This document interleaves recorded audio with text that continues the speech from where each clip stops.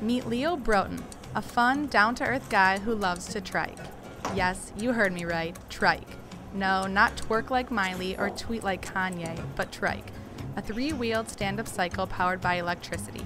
And I had to try it. But before I get behind the handlebars, let's find out exactly what a trike is. You know, basically, it's a, a three-wheeled uh, carving vehicle, is what we call it. And uh, so you basically just stand on the uh, the pads and grab the handlebars and turn the throttle and and go. You know, it's like a downhill skier's experience.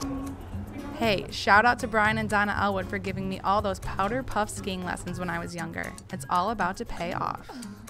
After completing basic paperwork to acknowledge that I met all requirements, such as In Dubuque, you have to be uh, 16 years of age. In Galena, it's 13. You have to be five foot tall and uh, no more than 300 pounds. and of course, safety first. Dun, dun, dun, dun.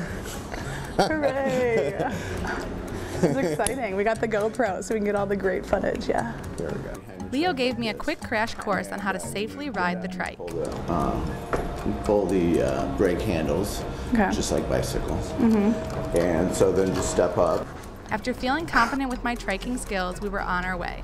The tour covers hot spots around the downtown Dubuque area like Port of Dubuque, you know, so the Ice Harbor, the Riverwalk, the Shot Tower, the uh, brewery. We go to the um, Millworks district, and so the Caradco building, the Wilmax buildings, uh, Studio Works, just kind of tell the stories about the old Millworks. Reporting for Alli's Way, I'm Alli Ellwood.